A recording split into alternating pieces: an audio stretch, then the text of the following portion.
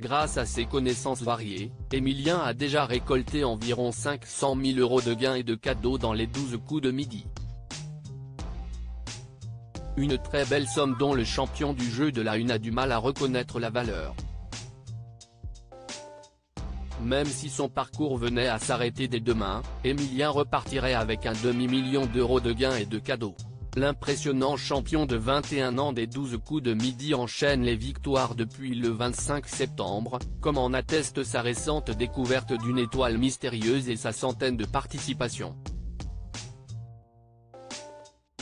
Mais alors qu'il s'était présenté comme un étudiant boursier aux moyens financiers limités, l'argent remporté va pouvoir changer le début de sa vie.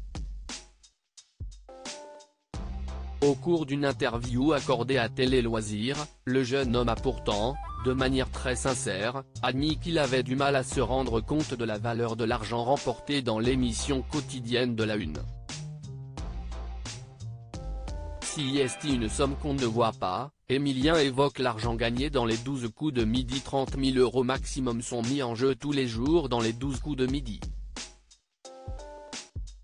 Même s'il ne participe à aucun duel au cours de l'émission, le maître de midi peut s'avancer en manche finale avec au moins 10 000 euros. Comme la moitié est à partager avec un téléspectateur, le concurrent peut donc remporter de 5 000 à 15 000 euros par midi.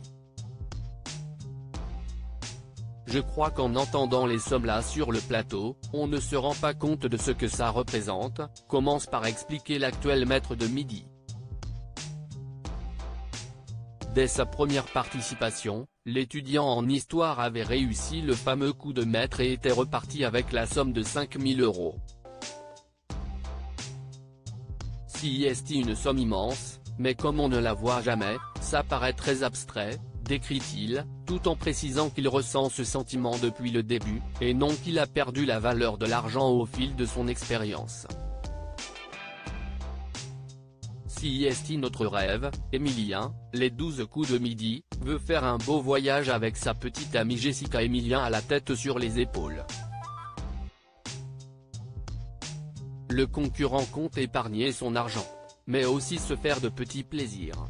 Au cours d'une précédente interview réalisée en marge de la découverte de sa deuxième étoile mystérieuse, Emilien avait avoué qu'il entretenait un but commun avec sa petite amie Jessica, un voyage en Italie. Si est notre rêve?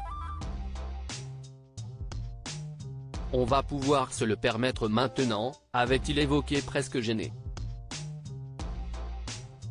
Étant étudiante en arts plastiques, l'Italie représente aussi une opportunité pour Jessica de s'inspirer d'un pays mondialement reconnu pour la qualité de son art.